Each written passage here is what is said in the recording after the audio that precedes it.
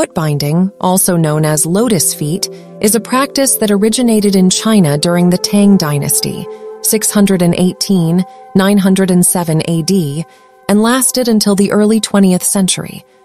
The practice involved tightly binding the feet of young girls in order to prevent them from growing to their natural size, resulting in a permanently deformed and small foot known as the lotus foot. This practice was considered a sign of beauty and social status among Chinese women, and it remained a prevalent tradition for over a thousand years. The origins of foot binding are unclear, but some historians suggest that it began as a way for wealthy women to distinguish themselves from lower class women who were required to do physical labor.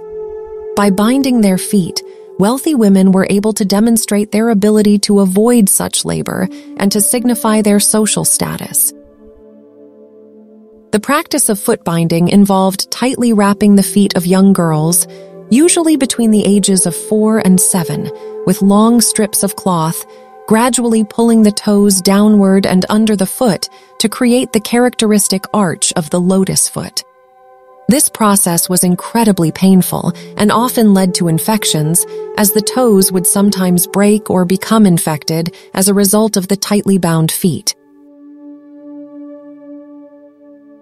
The process of binding the feet was usually carried out by the girl's mother or another female relative, and it was often a source of bonding between mothers and daughters.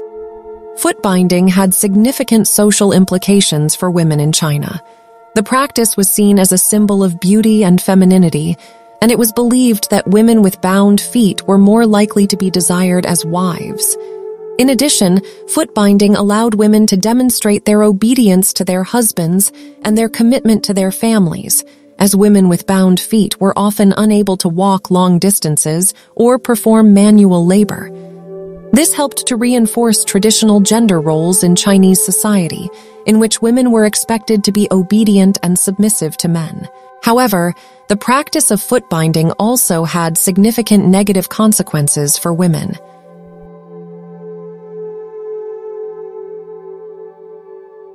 In addition to the physical pain and infections associated with the process, Women with bound feet were often unable to walk or stand for long periods of time, and they were at risk of falling and injuring themselves. This made it difficult for them to participate in physical activities or to work outside the home. In addition, foot binding often led to other health problems, such as poor circulation, back pain, and respiratory issues.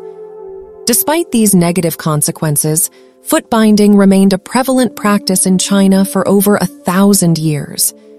It was not until the early 20th century, when China began to modernize and open up to the outside world, that the practice began to decline.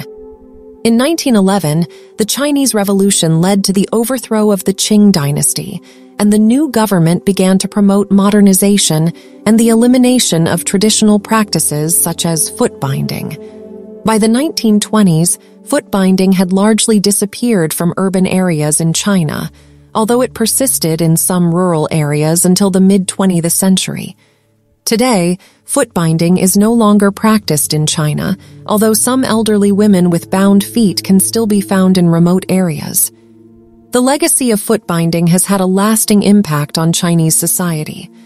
The practice reinforced traditional gender roles and helped to maintain the patriarchal social order. It also had significant negative consequences for women's health and well-being. Today, foot binding is recognized as a harmful and abusive practice, and it serves as a reminder of the ways in which cultural traditions can be used to justify the subjugation of women. In conclusion, foot binding was a practice that had significant social and cultural implications for women in China.